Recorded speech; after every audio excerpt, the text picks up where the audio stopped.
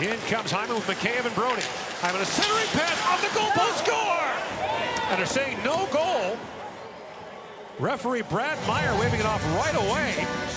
The puck hit the post and then banked in. And Meier talking over the linesman about what happened here. This is going to bounce off of Ilya Mikheyev. This play starts way back in the Leaf zone. A terrific play by TJ Brodie to break it up and then jump into the rush. That should count. Are they saying it hit his stick? It didn't look like it did. It looks like it hits his shoulder. He doesn't do anything to direct it into the net. He's just standing there. Meier said right away no goal. They're going to look at this, and I think this goal will count. And there's virtually no movement from Mikheyev at all as this play happens really quickly off the post. It hits him in the shoulder or upper chest.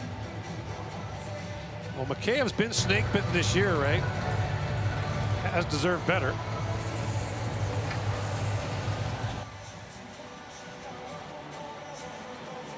Comes in with one goal in his last eight, four on the year. And here is Brad Meier with the call. After video review, it was determined that the puck was legally directed into the net. We have a good goal. And the game is tied at one.